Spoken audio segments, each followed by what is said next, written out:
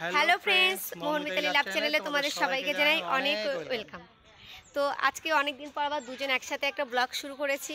আর আজকে মেলায় যাচ্ছি কিন্তু আর আজকে একেবারে দিদিদের বাড়িতে দিদিদের বাড়ির সামনে থেকে শুরু করেছি। আর এই যে হলো আমাদের আজকে নিউ ঘোড়ার গাড়ি তো এটা বাড়ির গাড়ি মানে দাদার ছিল তো মোহনের গাড়িটা আজকে নেয়নি। তো এই যে গাড়িটা করে আমরা এখন যাব পাঁচপুতা যেখানে প্রচুর আহ, ঠাকুর ঠাকুরের মেলার মতন একটা মেলা হয়।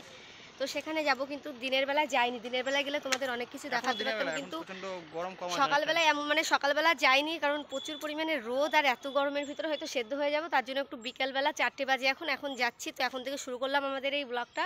তো তোমরা দেখতে থাকো আশা করি তোমাদের ভালো লাগবে। তো চলো।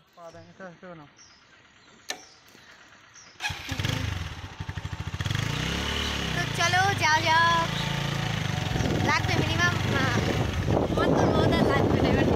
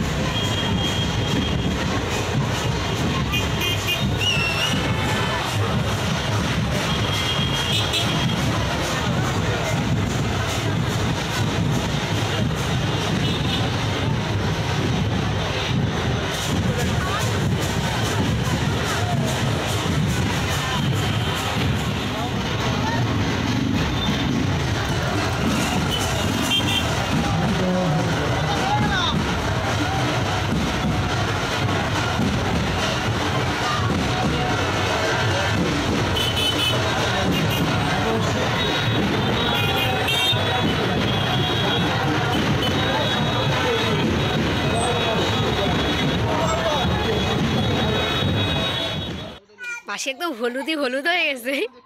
এটা হলো আমার ছোট মাসি, এটা হলো মাসির ছেলে রোহন, একদম রাজদেবীর মতন দেখতে সেম আর এই দিকে আছে মোহন, আর ওর দিকে দিদি আছে, দিদির মেয়ে কান্না করছে। এটা হলো মামা বাড়ি ওই পাশে মানে যেহেতু ঘর করবে, তার জন্য এই ঘরে এখন থাকছে। আর এই সাইডটা হলো সেই সুন্দর প্রাকৃতিক দৃশ্য যারে বলে সেই বাঙর। যে বাঙর আমি আগের বার এসেছিলাম এসে আমি মানে ভিডিও করেছিলাম সেই বাঙরটা একদম দেখতে পাচ্ছ? এতটা জমি। আর এই যে মামা বাড়ি বাইরে সবাই বসে আছে ভাইয়ের অবস্থা। আর ওই যে আমার মাসির মেয়ে বেরিয়েছে আমাদের ঋতুপর্ণা দেবী। ঋতুপর্ণা দেবী। হ্যাঁ তো আমরা এখন একটু আবার হালকা করে রেডি হলাম আর মাসির মেয়েকে নিয়ে যাচ্ছি মেলায় আর ছেলেবেলে দুটো তো পেছনে লাগছে যাবে যাবে বলে। কিন্তু ওদেরকে বললাম যে রেডি হয়ে থাকে, একটু পরে তোদেরকে ঘুরতে নিয়ে যাব। তো এখন চলো বেরোই। তারপরে মেলাটায় গিয়ে তারপরে তোমাদেরকে আবার দেখাচ্ছি।